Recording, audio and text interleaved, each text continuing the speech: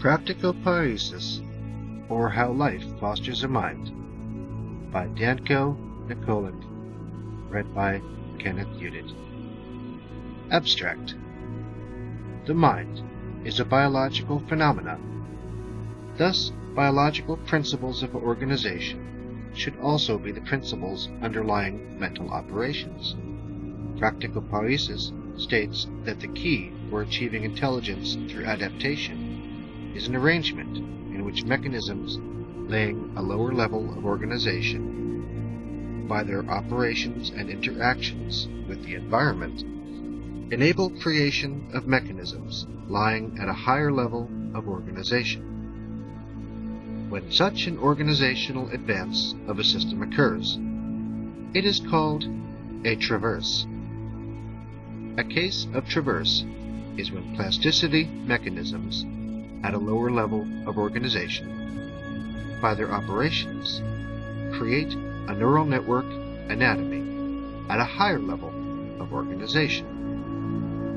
Another case is the actual production of behavior by that network, whereby the mechanisms of neuronal activity operate to create motor actions. Practopoietic theory explains why the adaptability of a system increases with each increase in the number of traverses. With a larger number of traverses, a system can be relatively small and yet produce a higher degree of adaptive, intelligent behavior than a system with a lower number of traverses. The present analysis indicate that the two well-known traverses, neuroplasticity and neural activity, are not sufficient to explain human mental capacities.